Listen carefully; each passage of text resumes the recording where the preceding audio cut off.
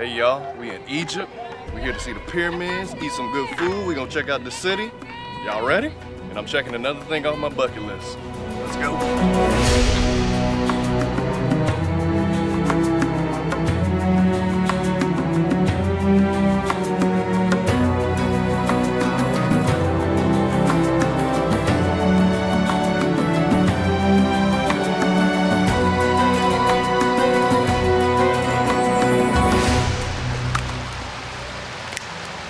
Y'all know I like to set up the scene for y'all when I start off these vlogs, but in Egypt, it's a lot of restrictions, especially when it comes to filming. So in order to make sure I got my camera inside the pyramids, I couldn't start filming until I got well inside. And once I got inside and seen them pyramids, man, I got super excited. But got to set up the scene. So let's start here. Guys, it's a moment. All right, y'all. Came all this way to touch the pyramids. This has been on my bucket list to touch these pyramids. It's done. All right, time to go home, y'all. You know, we waited all them years to touch the pyramids. It was on our bucket list to touch the pyramids. It just felt like stone. That's stone you ain't touched before. That's true. All right, back to the pyramids. Number two, checked off my bucket list, touching the pyramids. You see it? You see Rome back there? I did it, y'all. It was his number one. It was my number one. two. I did it, y'all. Man. I did it. wow. Wow, wow, wow. Just walking down. First one. Got plenty more to see. But look at the vastness of this, man. Two million stones. Two and a half tons. Wow. Now, this is Hassan. He's our guide for the pyramids, and he was explaining to us why the second pyramid was so smooth at the top. Also, he showed us the wives' pyramids contrasted to the king's pyramid. That- that's funny. And the real names of the three pyramids before moving on. The big one is Khufu, and the second one is Khafra. Hafra. The third one you'll see back. later Yes, in the back. is Menkaura. Minkara. These are their names in hieroglyphic, Gotcha. Okay. The real names. the real names. Yeah. And he always gave us time to ourselves to explore, and you know what we did. This pyramid thought it wasn't gonna get touched. That's what I thought. Let's go. Oh, yeah. Oh, yeah. Here we go.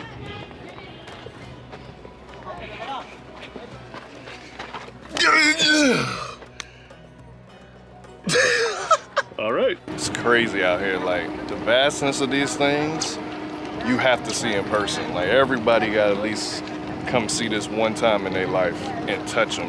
Because to see it on camera, to see see it in textbooks is different from actually coming and touching it and seeing it in person. Like I'm blown away how they how they did this, and even the Egyptians don't know. We're with a historian right now. He know everything about these, but they don't know how they actually built it because they didn't leave a blueprint or anything.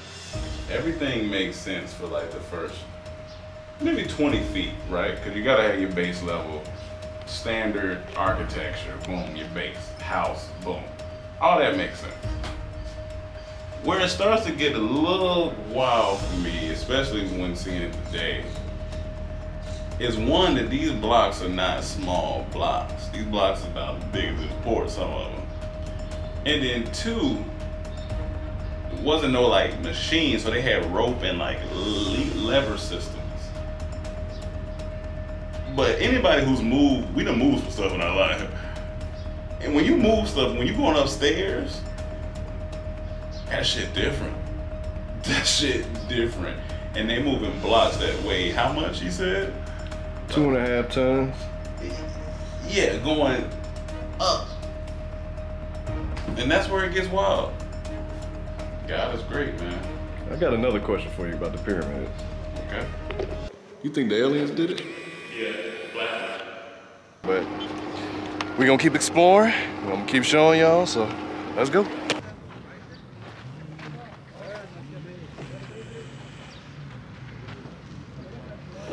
three pyramids in front of you, Crazy. and the other three small pyramids over here. So altogether, nine pyramids in this area. Yeah. How many pyramids room do you think all over Egypt so all far? over, all over Egypt. Yes, guess. You may give the right number and give you a good gift. 50. That's a good way. Yeah. What do you think? 35. Ah. It's still far away. Oh, 80? 127. Oh, Jeez. okay. 127 so far, as I know. Out here, got all three of them in behind us. He said it's 127 pyramids in total in Egypt. Jeez. What you thinking? Uh, astonished is the word I would have to use for it because who would have ever thunk Did he say thunk?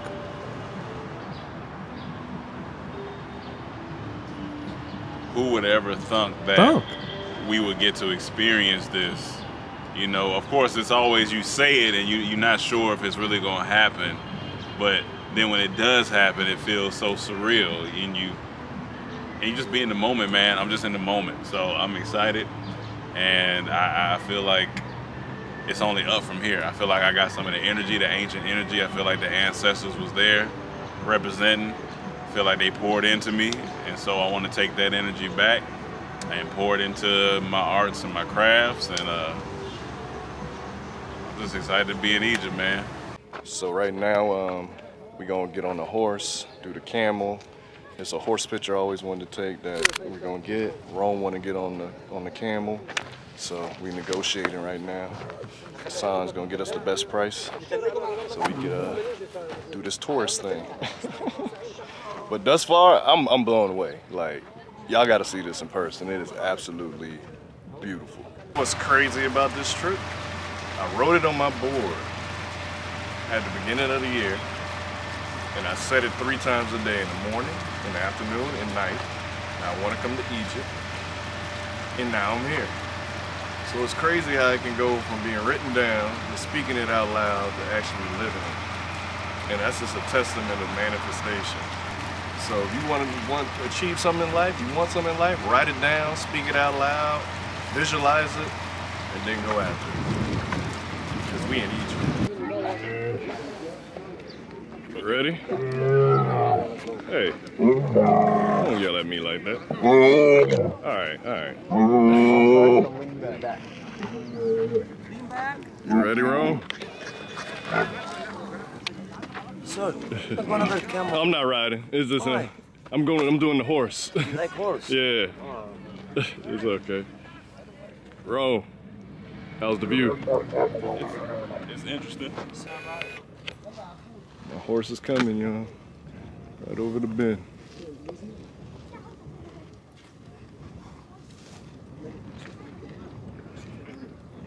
That's what I'm gonna be riding. Nice.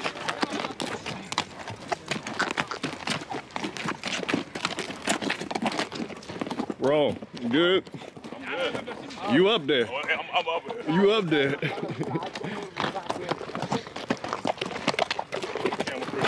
so we're riding right now. What's that? How is it just for brown sugar? It's good. It's great. Brown sugar, great. oh yeah. All right, Mike. Oh yeah. So we're riding. Gonna see the pyramids. Best views. I'll come back, y'all. Let me enjoy the ride.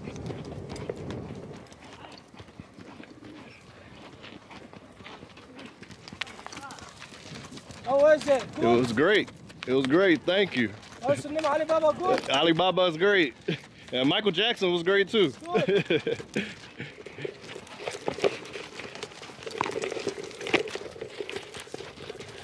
just riding. Alibaba back up to Hassan.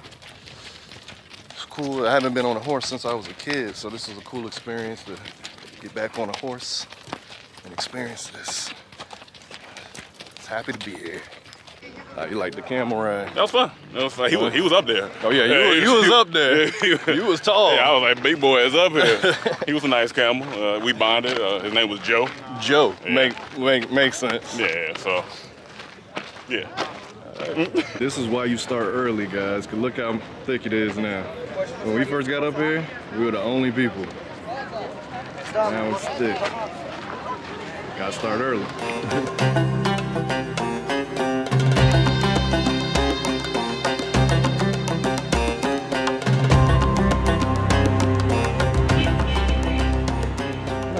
Famous statue which we call the Sphinx. As a matter of fact, after King Khafre built the second pyramid, he found in front of it a huge rock or stone. So he decided to use it, made it as a lion body with the human head, referring to the power of the animal and the wisdom of the man. So the Sphinx here, actual fact, represents the king himself, looking at the east side, where the sun rises from protecting, guarding the whole area behind. Sphinx. We, we used to read about this. Used to read about it. Come on, man. you? We used to read about it. We spoke into existence. We read about it. Said we're gonna be there, Sphinx. and now we're here. Sphinx. So make sure when you speaking stuff into existence, you visualize and you understand what you're doing, because that's what we did. Sphinx. And I'm out on that. Riding horses in the camels. Sphinx. Came up in Egypt dropping pounds. Sphinx. Up in the museum. Sphinx. Now we looking at the Sphinx. Sphinx. now that we seen the pyramids, time to go get some custom cologne made. Y'all ready? So we hit the streets of Cairo and headed to the oil shop, which is pretty popular in Egypt based on all the celebs on the wall. I can't lie, the shop was impressive, but nothing made more of an impression on us in this Egyptian heat than this. Rome, that's the best thing in this shop right now. So y'all, a little bit of facts about me. I'm an easy sweater. I sweat immediately. As soon as I step anything spicy, sweat. I sweat immediately. Especially when I was fat. That was double sweat. So this is the best thing we've seen all day thus far. So we're gonna pick from these oils. These Egyptian chakra oils, the seven Quranic chakras. Y'all can see. Go get one made. The owner then used a demonstration to explain the difference between Europe and Egyptian oils and how they don't use alcohol in theirs, unlike other countries. Oh, yeah, yeah. You're right. This is what I export in France. See, all European perfume inside 80% alcohol.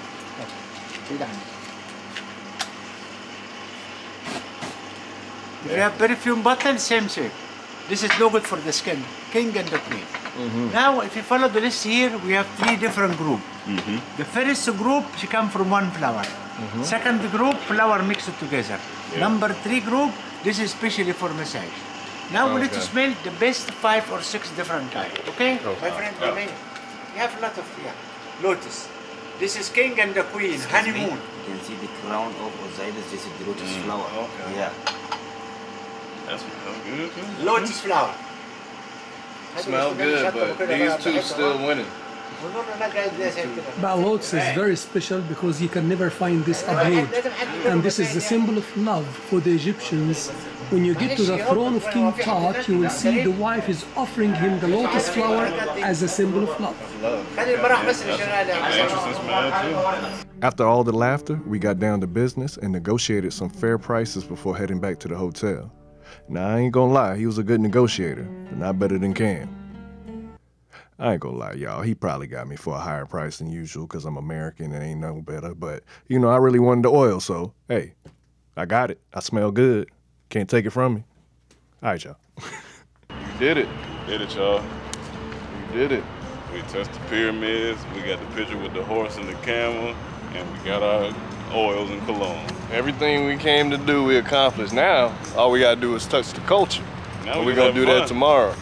So, yeah. It's a beautiful thing. So today, don't call me Cam. I'm only going by Big Silk. And today, we're gonna check out some museums.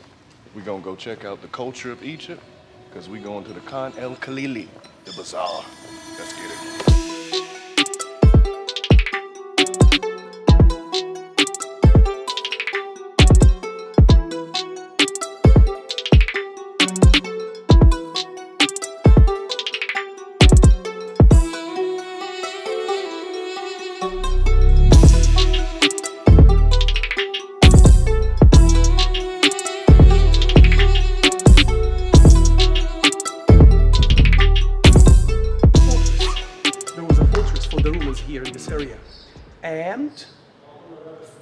One of these towers, the church was built. It is like hanged. That is the reason we call it the hanging church. Uh, third and fourth centuries AD. The oldest in Egypt. Been rebuilt and restored a few times. Till, till about 3200 BC, it was divided into two main kingdoms, known as Upper and Lower Egypt. Okay. When we say upper, we mean the southern part. Upper is the southern part. Yes. Okay. Lower is the northern part. That's opposite your Okay. mentality, is that right? Yeah, yeah. It's because of the river Nile, mm. one of the few rivers in the world flowing from south to north. So upper is south, lower is north. So we're in old Cairo right now, taking a tour and to see the history and everything. We visited some churches, some mosques. Was explaining the history of the Christians and the Muslims, so it's been great. So right now, we're at the National Museum of Egyptian Civilization. About to go see the history of the civilization of Egypt, basically, and how it all came together. We just left the old Cairo, where we was looking at the history of Christianity. And then we're gonna go to the Citadel and the Muhammad Ali Mosque to check out the Muslim side. So right now, all right, salmon bucket, big silk here. we gonna go in here. It's nice. You ready? I'm ready. It's, it's bright out here. It's beautiful. out in Hey, Cairo. I, I, I, oh, I, I it. just said you ready. Oh yeah, yeah, I'm ready. All right. So we just left the museum. Unfortunately, we can't film in there. There's strict on rules on what you can film and not can film in Egypt, but it was amazing. All the artifacts. But the best part is they have a part with all the mummies. So it's about like 20 mummies down there. You can read on the history of all of them. And man, that was amazing. But what's also amazing is this outside garden they got. Like, whoa. Look at this. This is beautiful.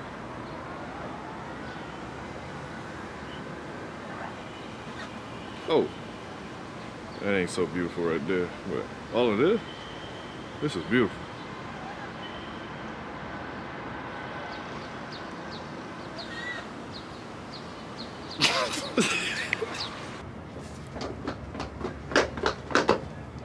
now we going to the Citadel.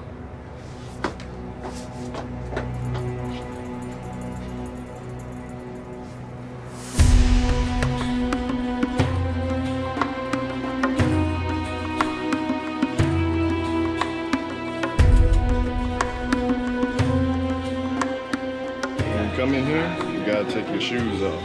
But pay five pounds for little booties to go on. So everyone got their shoes off, and nobody want to pay five pounds. But out of respect, you must take your shoes off. Before the Citadel was constructed, it was a famous fortress built by Saladin on Mokattam Hills, which made it difficult for any foreign attack to be successful.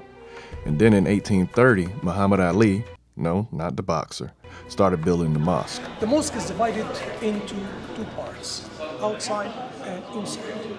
And it's all made of alabaster, what we call the alabaster mosque of Muhammad Ali, which was brought from Italy at the time. In the central part, you can see the fountain for ablution. Muslims got to wash themselves. As I'm gonna talk in details when we go inside, before they go to pray, so they have to wash their hands, face, eh, feet.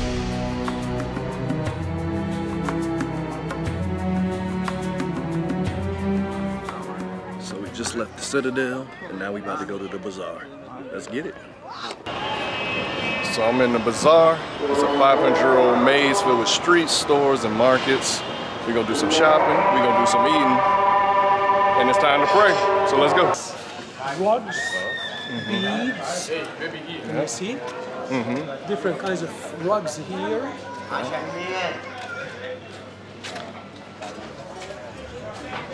Got everything. Two, or this is here, or here. Silver. Different.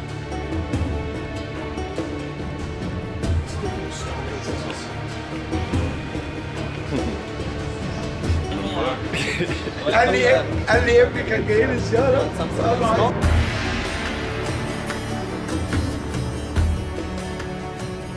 So we just walked through the market and they just said, how can I take your money? I like the honesty. And yes. then another buddy said, Yes, he said, he said, I don't know what you're looking for, but I got it in here. I said, I'm not mad at it. Respect it. I gotta respect it. it. I didn't get nothing, but I respect it. so guys, we have stopped for lunch at this spot right here. We're gonna get some authentic Egyptian food. And I'm ready. You ready? Yeah. Good. So what's everything we have here? Okay. This is the pita bread which we eat all the time back mm-hmm. home. Beans with olive oil. Mm-hmm. And this is eggplant. Mm-hmm. Okay, or baba ganoush. Baba ganoush. Baba Ganoush. Baba ganoush. And pickles. Uh-huh. Pickles. And lemon if you want to put with this. And the most important, which is made now, is coming soon. Okay. Oh, falafel? يا Oh, yeah. Oh. Baba Ganoush. I like that Baba. Mhm. Got falafel. It's hot.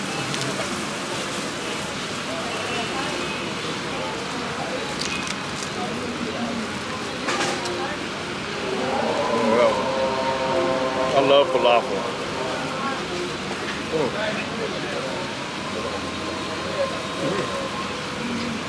So we just ate, guys. Now we have tea, fresh mint. Hassan has the coffee. Baolak. And this is traditional after you eat, you know, to have everything yes, settled. So go ahead, home. Yeah. That's how you gonna do it. Oh yeah, I'm gonna throw it right on in. One more scoop. All right.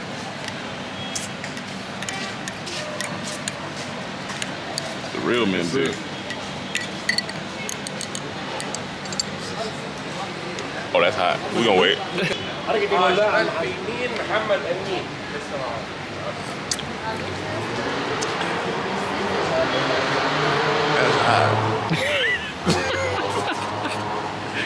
It's good. That's hot. Watch you dripping on your legs. Yeah, let's, let's put that back there. دي قول له ولع اللي بتولع That's the lighter. Yeah. Can you see the lighter? نو بروبلم here You are a musician. نو بروبلم How you do it? نو بروبلم Do it again. one more Do one more. one more here Where'd that come from? Really? He is gonna do it. He's gonna do it. Really? He's really doing this. Oh, that's amazing. He is whipping. That's the last thing I expected to see come through the street. He can drive anywhere. That's. a Mercedes, but that's a man right there. You see the hand? That's the hand of a man. Light work. Whoa. Come on. I can see you. جاي في حته ضيقه زي دي ما تمشيش. That's a man right ما there. عندهمش ضيقه. Let me tell you. That's if, if that was me, all this would have been knocked down. I would have took all that with me and under that bus. That's wild. That's that's incredible. You didn't you didn't warn us about that one, Hassan. Yeah, that's incredible. That was a surprise. Had lunch, still at the bazaar, looking at everything. Anything you want, you can find here. You got uh hold on, let me lighten it up. You got jewelry, you got clothes, you got keychains, all the tourist stuff. Anything you want, you can get here. It's basically like a, a big flea market. So if you've been to any flea market in the States, It's the same thing. What's up? I have nothing. I'm sorry, sorry. So you can get luggage, you can get rugs, carpets, you can get uh, lights, you can get vase, you can get incense, incense holders, anything you're looking for, wallets, you can get here at the bazaar. Besides the pyramids, the next noticeable thing is the presence of cops and military throughout the city, and that's to ensure your safety. It's not that it's unsafe or I felt uncomfortable while I was there, but that's how they keep it that way. So your whereabouts as a tourist are known as soon as you leave the hotel, because you're always walking through checkpoints and signing logs everywhere you go. So when you leave, they know. When you arrive, they know. And if something happens and they need to come and get you, your location, oh yeah, they know.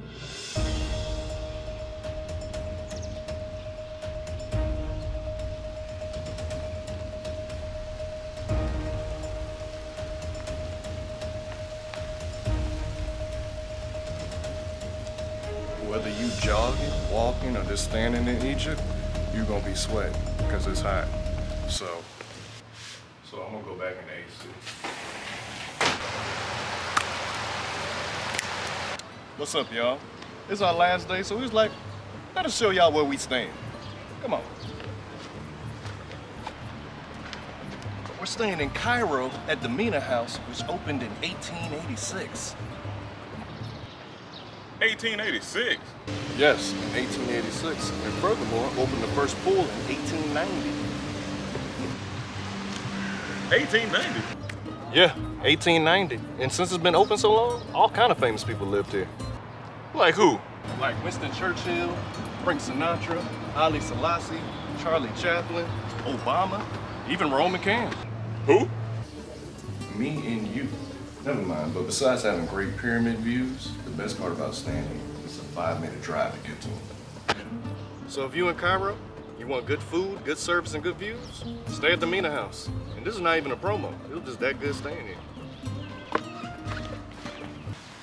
Where? All right, y'all, this is our last time seeing the pyramids. And today, we officially leave tomorrow. It's been a great three weeks of travel. It's been a hell of a stop here in Egypt to end it on. So, we don't want to leave, but we got to get back so we can leave again. And that's on Pyramid. And that's on Pyramid.